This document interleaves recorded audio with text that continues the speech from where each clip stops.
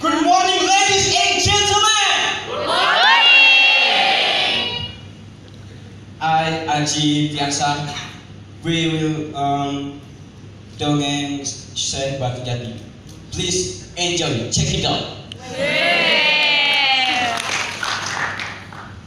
Syekh Batu Jati adalah seorang anak dari seorang tumenggung pajajaran yang bernama Tumenggung Jaya Agung. Dia dilahirkan pada tahun 1608 dia adalah seorang patriotis yang sangat yang memiliki cita-cita sangat luhur. Dia menamakan persatuannya PRN Waluyo Puri. Dengar kalian semua, bapak-bapak pengkhianat bangsa yang tak sudi menerima kemerdekaan, yang tak mau bersatu. Aku memiliki persatuan Gunakan persatuan ini. PRN Waluyo Urip.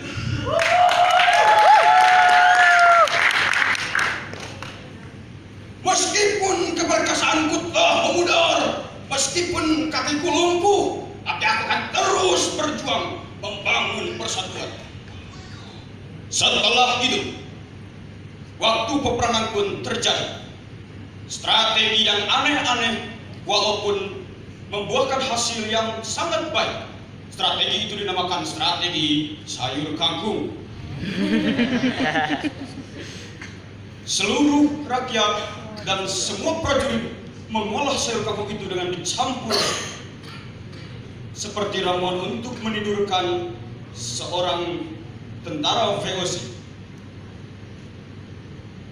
Pada sore itu, tentara VOC bermunculan dan seorang sudah menyatakan damai walaupun damai itu hanya pura-pura saya sebagai lurah desa ini menyatakan perdamaian terhadap tuan-tuan semua dari POC. Oh, well, well, well.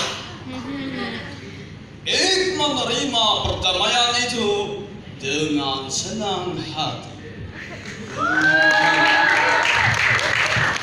Berarti ik merasa dihargai. Inilah jamuan dariku Tuan. Mudah-mudahan Tuan semua dapat menerimanya. Setelah itu, jamuan yang disediakan oleh warga desa langsung dihidangkan di depan tuan-tuan dari VOC. Lalu, setelah mereka memakan hidangan yang disediakan warga desa beserta prajurit, satu persatu kepalanya mulai tidak beraturan karena menahan rasa kantuk yang amat kuat. Syekh Batu Jati tersenyum sambil berkata, sirapku ampuh juga. Eh, subhanallah.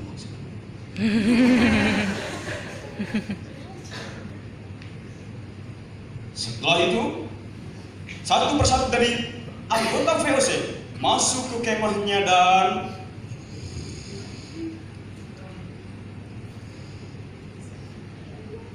Hadirin, semua keadaan aman.